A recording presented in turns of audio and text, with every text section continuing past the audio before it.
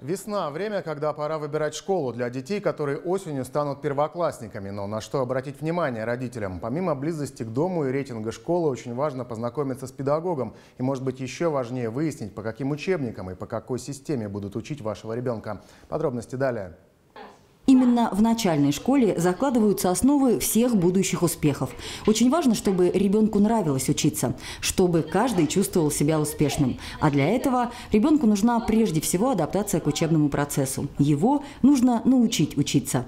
Я должна сказать, что есть учебники, которые специально адресованы вот первокласснику. Начальная школа 21 века – как раз и букварь, и математика, и окружающий мир первого класса. То есть все основные предметы, главная их цель – адаптация ребенка к школе. Я хочу сказать, что в этих учебниках э, заложен мощнейший такой адаптационный период, потому что все-таки такого человечка, как коллективного существа, она происходит именно в школе, именно в начальной школе.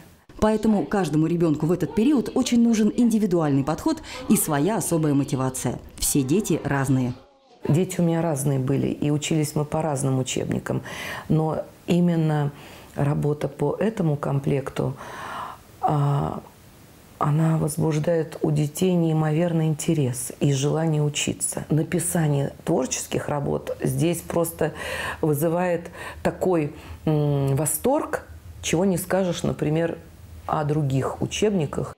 Поэтому, если вы хотите, чтобы ваши дети или внуки были успешны во взрослой жизни, обратите внимание на школы, в которых учителя работают по системе учебников «Начальная школа 21 века» корпорации «Российский учебник». Она уже более 20 лет доказывает свою успешность высокими результатами детей. Не случайно ее авторы получили премию президента Российской Федерации.